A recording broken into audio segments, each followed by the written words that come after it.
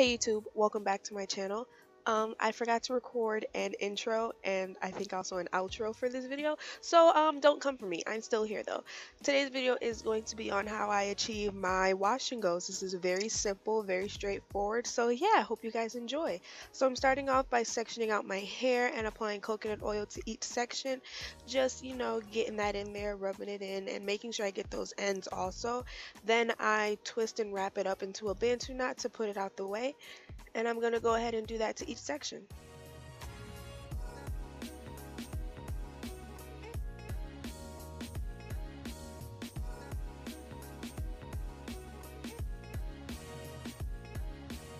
So now that we've got to the section that we want to start working with, go ahead and grab your spray bottle and start to dampen the hair up just a little bit so that um, it's easier to detangle a little bit more so the curls can be more defined and also because you know as time goes on it probably got dried out.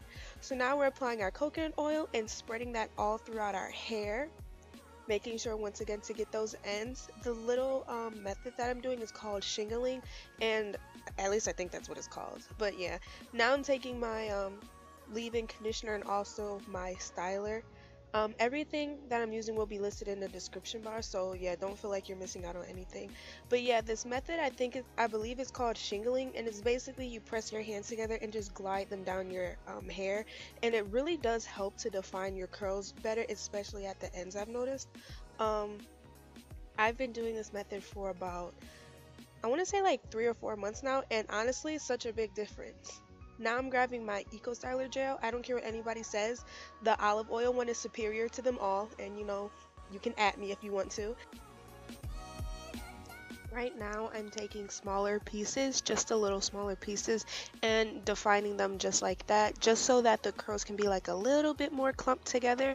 Normally, um, if you clump the hair now when it's still wet, when it dries up, they'll be extra defined. That's another thing that I've noticed also and yeah I'm just gonna continue this process all throughout my hair. This um, wash and go routine is super duper simple.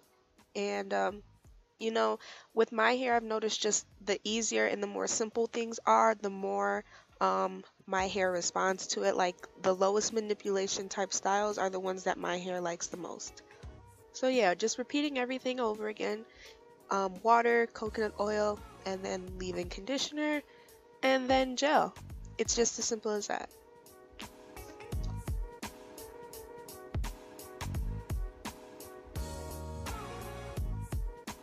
And also one of my tips for um, getting more volume at the root is not applying gel there because obviously gel makes the hair more defined.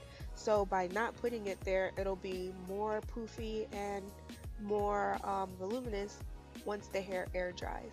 So it'll give you the illusion of already have picked out your hair and things like that when in reality you just skipped a step and already have the work done for you.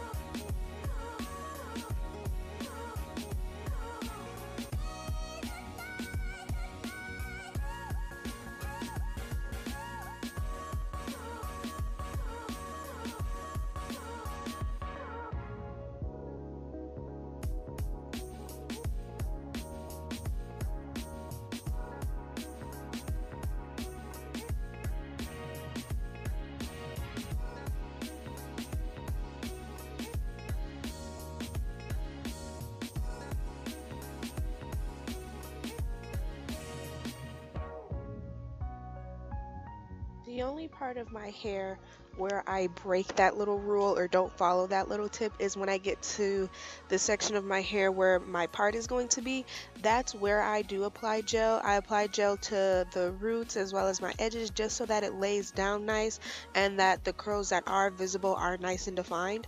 So yeah, that's just what I'm doing right now and I'm also making sure to get the ends well enough to and you know continuing to do the whole process all throughout my head nothing's changing we're just doing this really simple um, routine.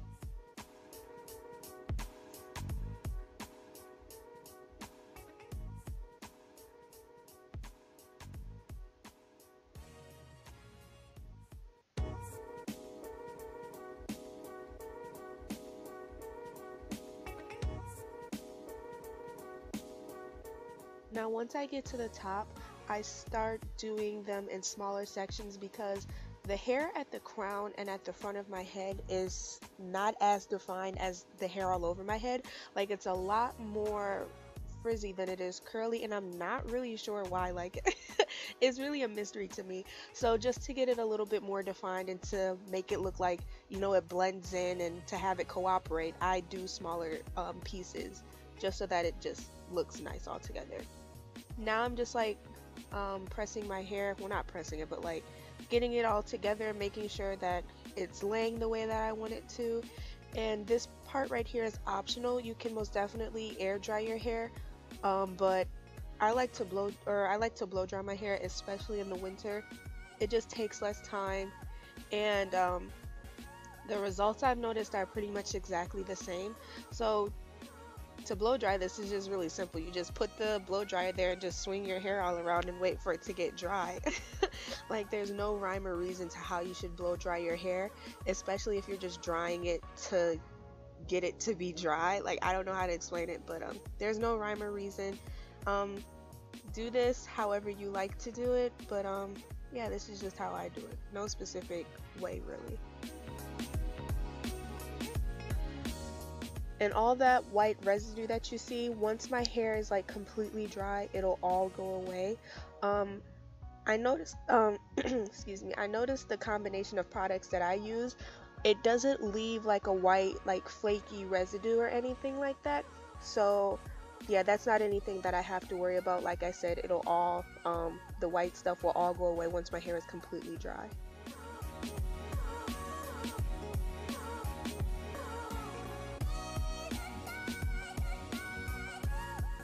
And also at this time, if you want to add that extra volume, what you can do is you can go ahead and grab like a pick or a wide tooth comb and start picking out the roots or fluffing it out with your fingers, just like how I'm doing, just for that extra volume and then separating your hair and getting the blow dryer in, um, in between just to make sure that everything is nice and dry and fluffy.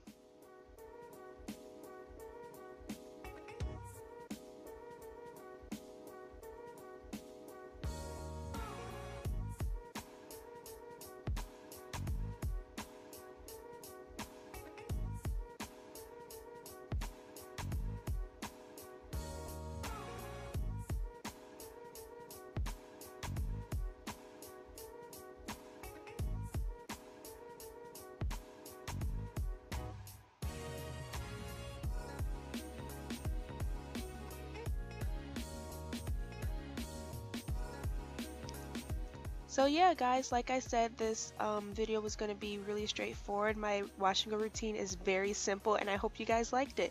Thanks so much for watching. Don't forget to give this video a thumbs up and also don't forget to subscribe to see some more videos from my channel. Thanks so much for watching and I'll definitely see you guys in the next video. Bye!